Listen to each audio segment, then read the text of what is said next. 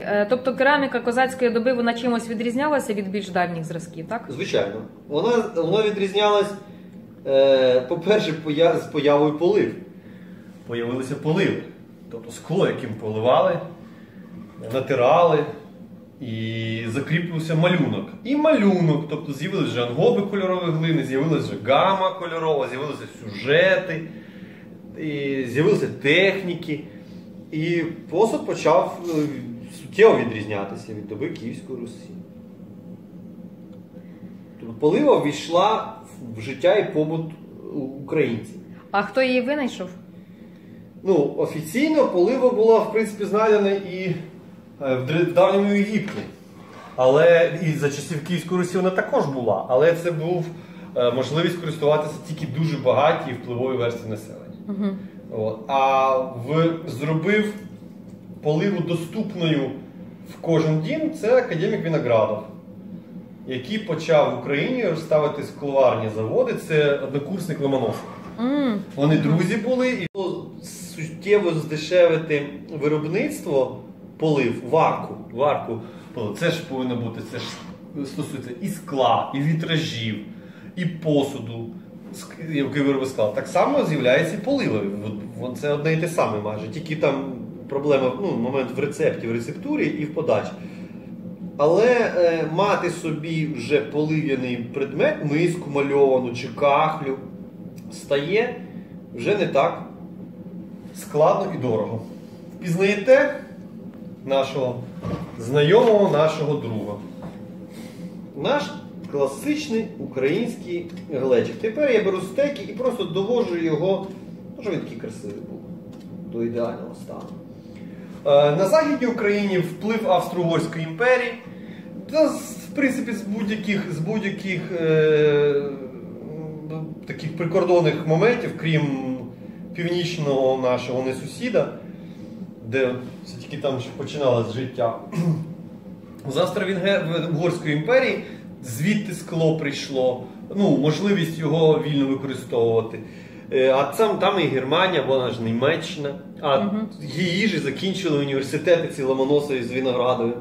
Тобто вони прийшли робити, ставити ці виробництва на Україні. Дуже сильний вплив. Румунія це вплив Греції, Італії, а там взагалі це з поливами взагалі ідеальна ситуація. Тобто такі А в давні часи скільки треба було вчитися е, у майстра, наприклад, хлопчику, я так розумію, що в більш юному віці брали дітей, так? На, е, Обов'язково, як і завжди. Чим раніше почнемо, тим якісніше буде. А в скільки років брали дітей для майстри для того, щоб навчити гончарству?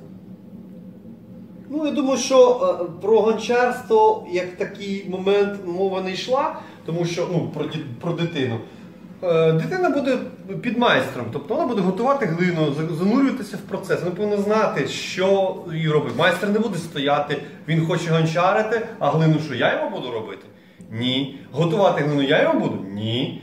Вона своя, я сам її роблю. А як її робити? Він цього ж не знає. Тому він років 2, 3, 4 буде готувати мені глину і взагалі зрозуміє ази, де вона береться, що з нею робити, як її вимішувати, як її готувати, як її сушити. Знову таки, навчу його гончарувати, а що далі? А він не знає, де її зберігати, як це, це до неї відноситься. Кераміка, а ми зараз розмовляємо про кераміку, це дуже складний процес, який вимагає величезної концентрації і має у собі величезний, е, величезний додатковий шар е, технічних процедур.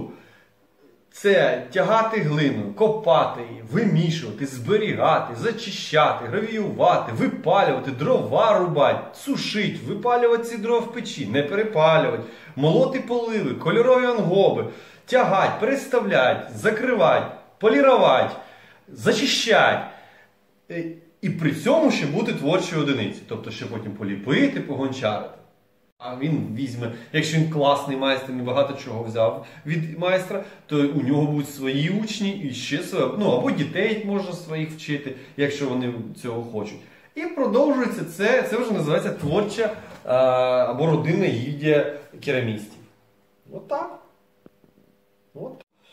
А про е, сучасні моменти, то у нас існують гуртки, школи, які е, забезпечують е, ну, приблизно в такому ж стилі е, азами ремесла чи кераміки. Це треба знати. В мене так само вклали багато думок, ідей, знань, шикарні викладачі.